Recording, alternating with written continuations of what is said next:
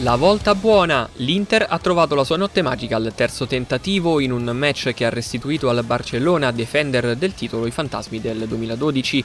Allora fu un'altra nerazzurra, l'Atalanta, a mandargli di traverso i tempi supplementari.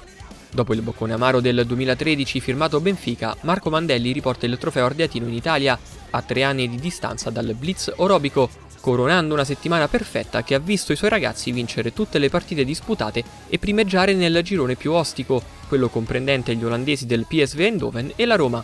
Per battere i Blaugrana, campioni in carica con i 2001 e accreditati dell'ingombrante etichetta di favoriti, in virtù del sette bello calato ai danni della Juventus in semifinale e della presenza in squadra di quel Moreno Taboada che grazie a 19 centri si è portato via scarpa d'oro e titolo di miglior giocatore del torneo, serviva la partita perfetta. I nerazzurri ad onore del vero l'hanno disputata per 89 dei 90 minuti diretti dal signor Laudando di Aprilia, rialzando la testa dopo il primo schiaffo subito, quando l'ago della bilancia pendeva in maniera sensibile verso la sponda iberica.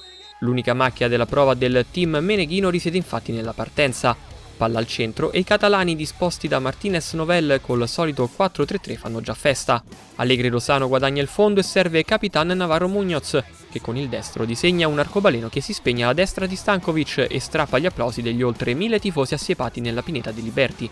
L'Inter modifica istantaneamente la missione, traducendo i propositi di contenimento in un assalto ragionato.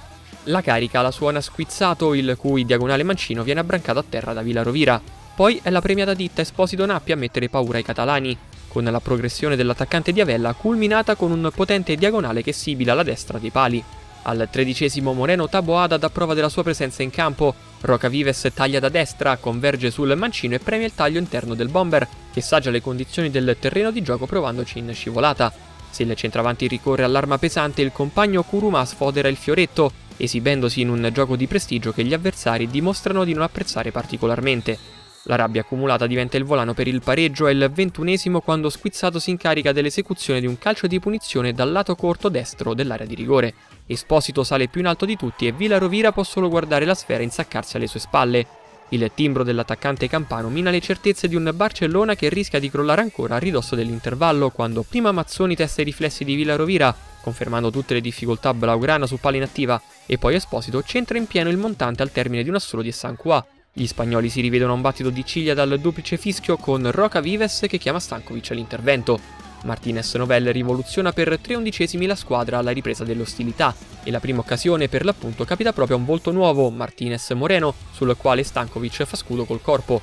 Poi sono due colpi di testa a far gridare al gol, il primo lo timbra Kuruma, sugli sviluppi di un corner, il secondo nella metà campo opposta è opera di Sanqua che incorna il traversone di Moretti e chiama il subentrato Tristan Jimenez ben piazzato ad alzare sopra la traversa. Il pericolo scuote gli iberici che il gol lo troverebbero con Navarro Munoz al quale viene ravvisata una posizione irregolare che scatena, probabilmente a ragion veduta, le proteste della panchina.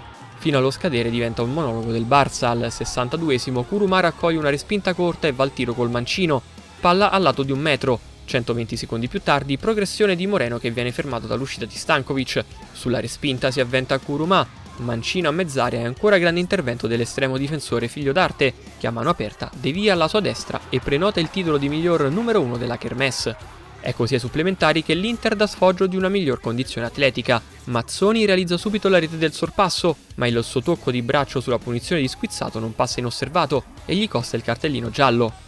Sul ribaltamento di fronte Martinez Moreno imbecca Fernandez Castellano che gira debolmente tra le braccia di Stankovic. L'apoteosi nerazzurra si manifesta al minuto 79.